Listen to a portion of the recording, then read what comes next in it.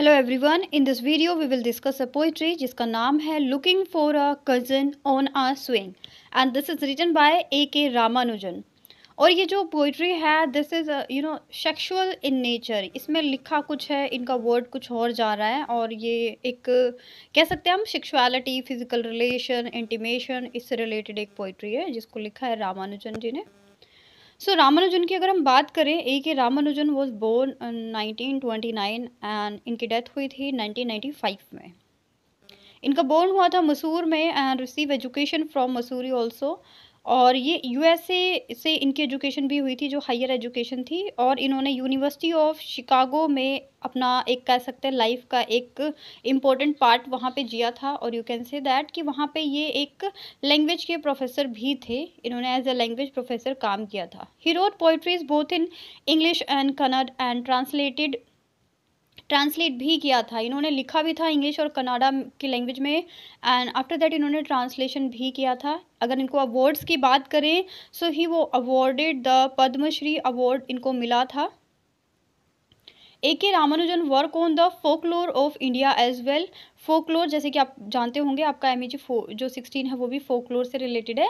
तो इन्होंने फोकलोर पे भी अपना काम किया था and he known for his strict and spare style for his technique इनकी जो पोएम्स थी his poem reward readers who is willing to be patient who are willing to be examine his poem and exact opening और ये कुछ अजीब तरीके के events को असेंबल करते हुए नज़र आते थे, जैसे कि इनकी इस पोइट्री में भी मेंशन है।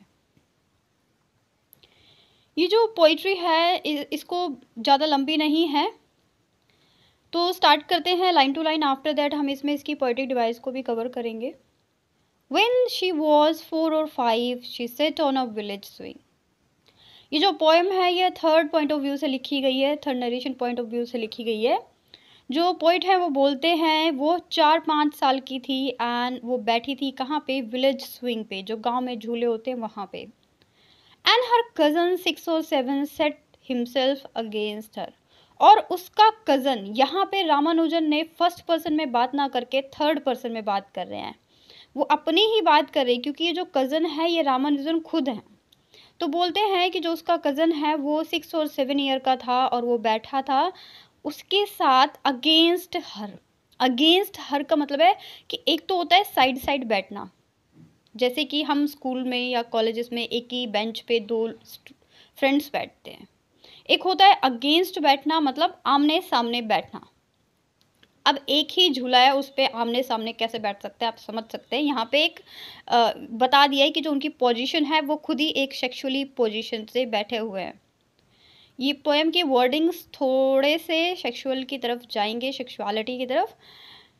सो so, आप इसे कनेक्ट कर लीजिए आई कैंट से एनीथिंग क्योंकि ये पोइट्री लिखी किस तरीके से है वो कहते हैं ना पोइट कुछ भी लिख सकता है। So this is the thing With every launch of the swing, she felt him in longing pits of her feelings. इन lines में ये जो फोर लाइन्स हैं that is related to the sexually relation को दिखा दिया यहाँ पे लंच मीन्स होता है धक्का मारना पुश करना तो जब वो स्विंग चल रहा है जो वो झूला आ रहा है जा रहा है जैसे आपने स्विंग को देखा होगा तो यहाँ पे पोइट बताते हैं सी फेल्ट हिम वो उन्हें महसूस कर रही थी in lunging pits of her feelings कि स्विंग्स पर वो जो सेक्सुअलिटी वाली फीलिंग है, उसको फील कर रही थी।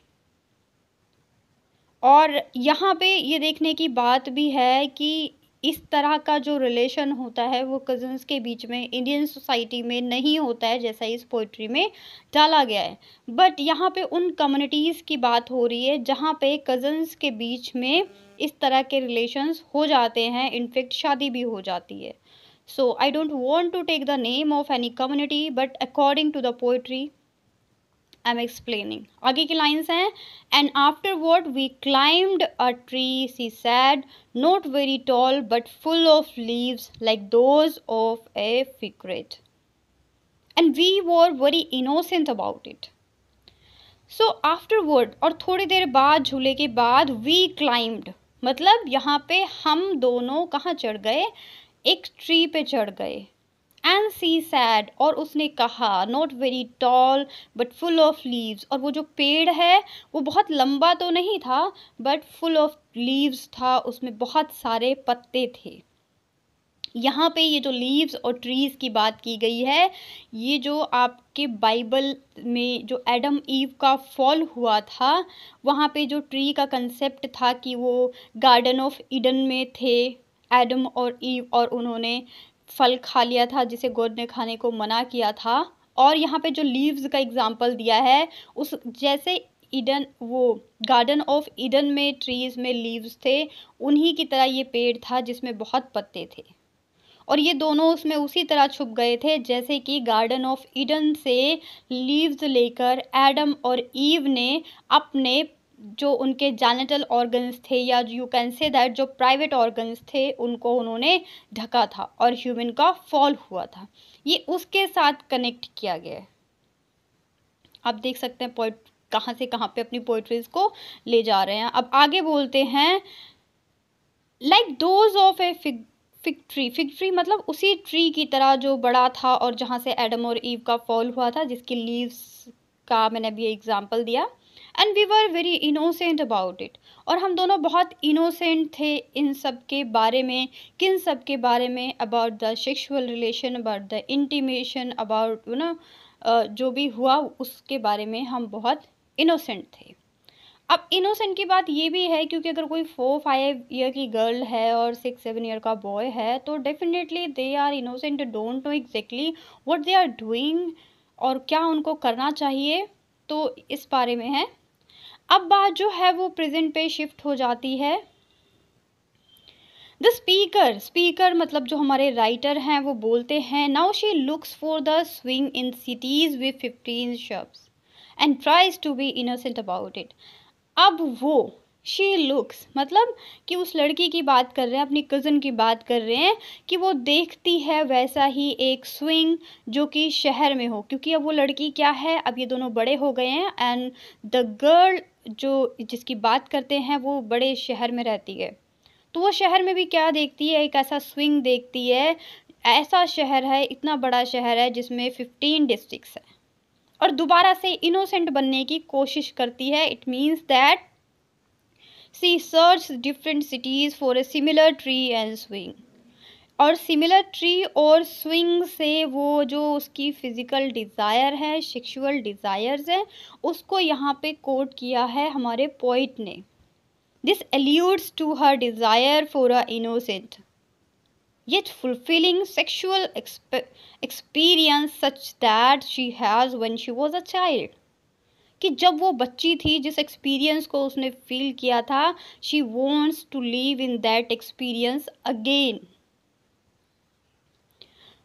not only on the crotch of tree that looked at a wood breast under every leaf into of scarlet figs if someone suddenly sneeze मतलब कि ये जो क्रॉच वर्ड यूज़ किया गया है C R O T C H of the tree crotch of the tree से compare किया है क्रॉच एक बॉडी पार्ट भी होता है जो एक सेक्सुअल इमेज को प्रेजेंट कर रहा है यहाँ पे मैं ज़्यादा एलाबोरेट ना करके आपको टू द पॉइंट ही बोलूँगी। अगर आप ज़्यादा नॉलेज गेन करना चाहते हैं इसको लिटरल मीनिंग इसका सर्च कर लीजिए। क्रॉच का right that looked as if she burst and under leave यहाँ पे इन लाइंस के थ्रू या जो क्रॉच वर्ड किया यूज़ किया गया है ये दिखाता है कि किस तरह से पोइट ने सेक्सुअल इमेज का यूज़ किया है। वो बोलते हैं कि जो उनकी कज़न है अब किसी भी मेल से मिलेगी तो वो you you know know, sexual encounter में इन्वॉल्व हो जाएगी। इसकी बात करते हैं वो इस लास्ट पैराग्राफ में। और मतलब एक अगर कोई सडनली स्नीज भी होगी, तब भी वो उस चीज़ में इन्वॉल्व हो जाएगी। मतलब indirectly you can say that कि वो इस तरीके से सेक्सुअल रिलेशन में डूब चुकी है या फिर उस प्लेजर को जीना चाहती है कि अगर कोई उसे अजनबी भी बोलेगा टू फॉर इंटीमेशन तो वो उसके साथ भी एग्री हो जाएगी। शॉर्ट में यही था कि जो फ़र्स्ट पोएम है, उसमें क्या था कि वो बताते हैं कि जब वो फोर फाइव के थे तो एक साथ बैठे थे। विलेज विलेज स्विंग पर और उनके बीच एक सेक्सुअल रिलेशन हो गया था। And though that time they both are innocent और उसके बाद प्रेजेंट की बात करते हैं, जो उनकी कज़न है। अब वो शहर में रहती है और वहाँ पे क्या सर्च करती है? बड़े बड़े शहरों में ट्री और स्विंग को सर्च करती है। मतलब अपने उस, जो उसने बचपन में उस एक्सपीरियंस को फील किया था, उसे दोबारा से करना चाहती है। इसी के बारे में है। अब लाइन टू लाइन कवर करने से के बाद जो इम्पोर्टेंट चीज़ आ जाती है that is your poetic devices और टेक्निक दोनों बोलते हैं इसको। Ramanujan makes use of number of poetic techniques बहुत सारी टेक्निक्स का यूज़ किया है, जैसे कि इन्होंने रिपीटिशन का यूज़ किया है एलिट्रेशन का यूज़ किया है इंजैबमेंट का यूज़ किया है एंड एल्यूजन का यूज़ किया है। और कहाँ कहाँ पे the latter is the most clearly we see the connection between tree swing and sex ठीक है, इन सारी चीज़ों में क्या एक एल्यूजन सा प्रेजेंट करते हैं? तो अगर हम ये देखें कि a very good example of technique influence reader experience is the end of the line six line six की एंड में क्या था? शी फेल्ट हिम वो उन्हें महसूस कर रही थी। तो ये एक तरह का क्या है? यहाँ पे इन्हीं सब चीज़ों का यूज़ किया गया एलिट्रेशन का यूज़ कहाँ किया गया? एलिट्रेशन का यूज़ जब आपने पोएम देखी तो पोएम में जब वर्ड था फ़र्स्ट ही लाइन में फोर और फाइव फोर और फाइव में दोनों में एफ़ का रिपीटिशन हो, हो रहा है और यहाँ पे किसका यूज़ किया गया है? एलिट्रेशन का। क्योंकि जो दोनों वर्ड हैं फोर और फाइव वो एक ही अल्फ़ाबेट से स्टार्ट होते हैं एफ़ उसके बाद इसमें दोबारा से एलिट्रेशन का यूज़ किया गया है जो सिक्स और सेवन लिखा गया है। तो सिक्स और सेवन दोनों की जो स्टार्टिंग है वो एस से है। यहाँ पे भी एलिट्रेशन का यूज़ किया गया है। जो पोएम है, वो third person point of view से लिखी गई है, क्योंकि वो यहाँ पे ये नहीं बोलते कि जो मैं हूँ, मैं भी उनके साथ था। वो बोलते हैं that he is also set against her तो वो उसकी बात करते हैं। इसमें इनोसेंस को दिखाया गया है, इसको बहुत सिंपल लैंग्वेज का यूज़ करके प्रेजेंट किया गया है। तो इस तरह से इसकी टेक्निक्स जो हैं, वो कंप्लीट होती हैं। मिलते हैं फ्रेंड्स नेक्स्ट वीडियो में विद अ न्यू पोइट्री और क्वेश्चन आंसर